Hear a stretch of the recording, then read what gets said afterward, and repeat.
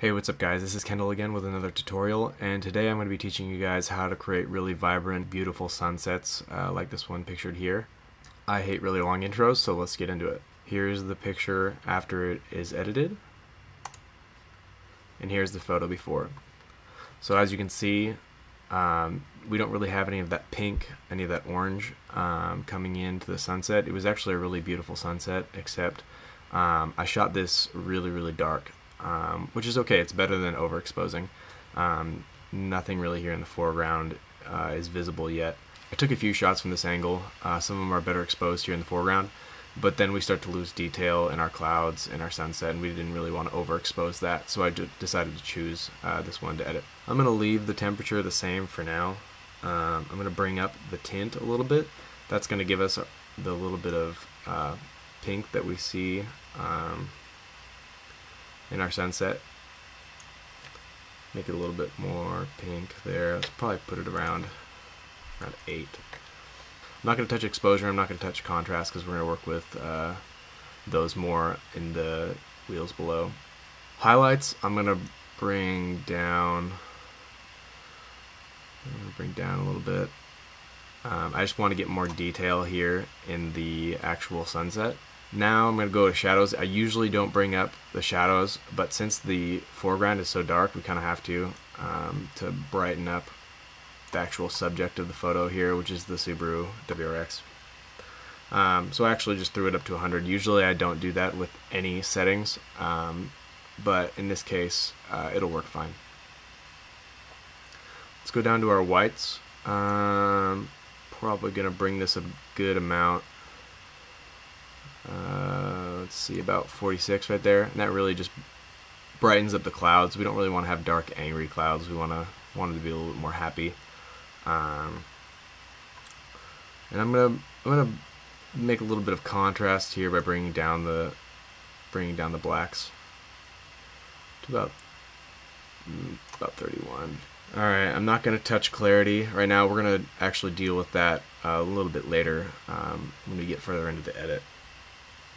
Uh, vibrance I might bring up by 5. And if you don't know how to bring up uh, any of these by 5, just hover over the wheel and hit up and down on the arrow keys and you can go up and down by 5. Saturation I'm not going to touch. Tone curve I'm going to put a little bit of an S curve. So basically I'm going to bring up the top of the curve a little bit. Very, very slight my art teacher used to say a little dabble do ya.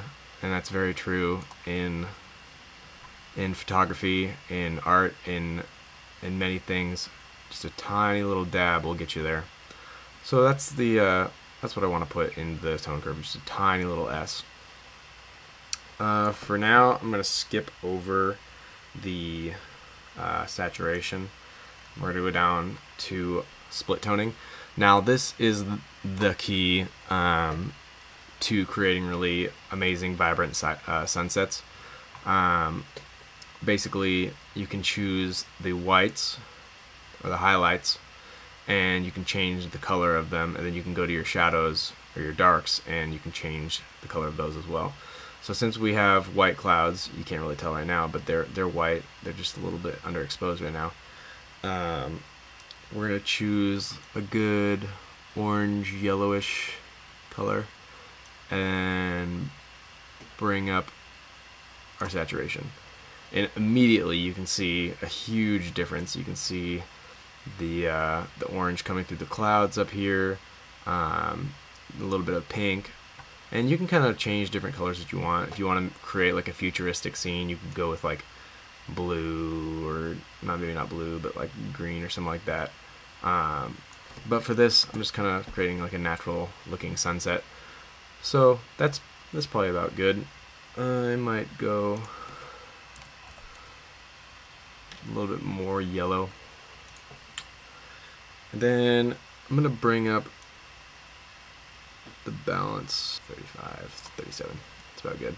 Now we're going to come down to our shadows and I'm going to put a tiny bit, just about 8 just to kind of warm up the darker spots here in the in the in the shot.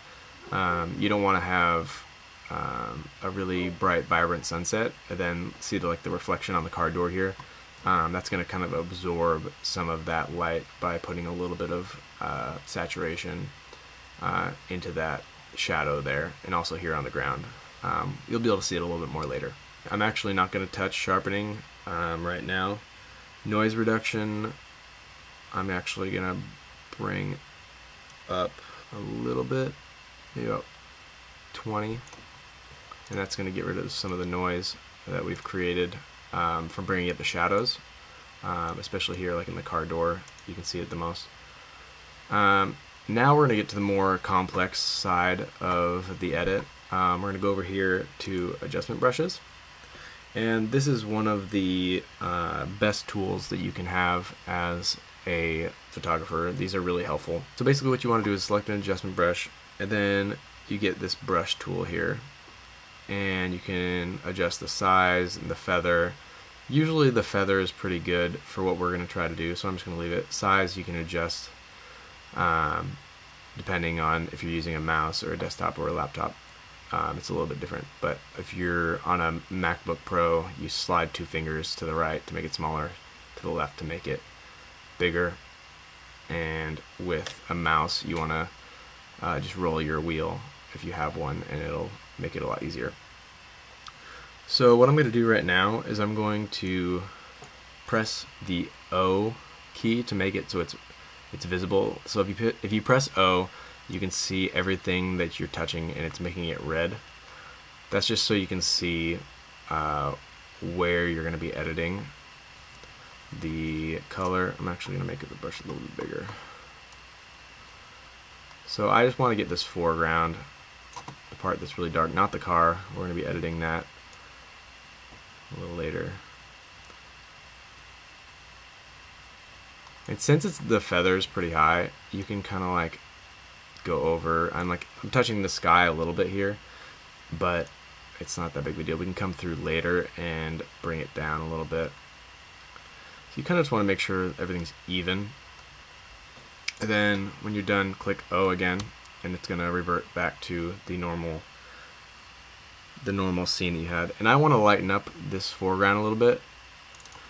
So I'm going to bring up the exposure by about one stop and already you can see it's making a difference it's we've got more contrast in our foreground in our sky uh, what I like to do with landscape foregrounds is bring up the clarity um, I don't like to just bring up the clarity on my entire uh, photo because it'll make some things look weird and you don't want to bring up the clarity on your sky you actually want to do the opposite um, so I like bring up the clarity just here, like on the ground, and the, the poles right here, and the uh, plants, um, just to make them kind of come into the photo a little bit more. That's all for that adjustment brush. So now what we're going to do is we're going to go over here and click New, and now we have a new adjustment brush.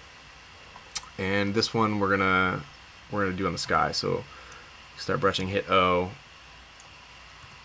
and it'll reveal the red so we can see actually where we're, brushing. And just gonna try and get the whole sky.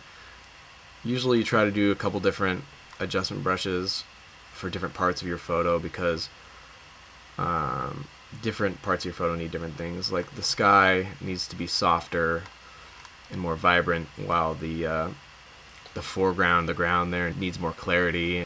So see what I did here is I accidentally uh, went over the other part of my adjustment brush, which I don't really want to do. So I'm going to hold Alt and brush over this, and it's just going to erase that red. And that's why you have the red, you press O so you can see where you're actually adjusting. So I'm going to take that out. So I don't want to I don't want to affect that area, just want to affect my sky. All right, so hit O again. And see how we have these really dark, dark clouds. Um, we don't really want it to be that dark and that intense and scary. Uh, so what we're going to do is bring up the exposure just a little bit just to kind of make it a little bit more friendly. Uh, I'm going to bring up the warmth. I'm going to bring up the warmth to about 45, 40. Like you can definitely see that makes it a much more warm sunset. Um, definitely brings out the, the vibrancy of it as well. Um, warmth is really key when it comes to sunsets and sunrises, obviously. Uh, I'm not gonna mess with the tint anymore because I like I like the orange. Uh, I don't really want it to be any more pink. Now I like to bring up the contrast a bit in the clouds. Sometimes it makes it a little intense, but if we bring down our clarity, it'll definitely soften up uh, those clouds. And I think that makes a nice little look. All right, and now that we're working with uh, our sky, we can throw up our saturation a little bit more. It's all about getting that vibrant sunset right there, bringing out those oranges. You don't want to throw up your saturation too much and make it look fake, but trying to get the most realistic looking uh, sunset. Now let's make a new adjustment brush and come over here to the Subaru. And it looks a little dark to me. Let's put press O. Looks a little dark to me, so we're gonna probably try and lighten it up a little bit. Let's see, make this bigger and press O. And I'm going to bring up the exposure a little bit because I, I feel like the Subaru is the subject in this photo, so definitely want it to be uh, exposed. Might also throw a little bit of clarity into the Subaru, not as much as we threw on the foreground over here, but maybe about 30. Just kind of make that metallic uh, reflection pop a little bit really the most important thing is the adjustment brushes and working with different areas of the photo. Uh, it's not about just saturating your entire photo and making it look uh, super orange, but it's about choosing different areas of the photo and working with them individually. Thanks for watching this video guys, I hope you really enjoyed it, and I hope you learned a lot. If you guys would like to see more tutorials, please comment below with what you'd like to see, and I'll try to make it for you. Again, thanks for watching, and enjoy your editing.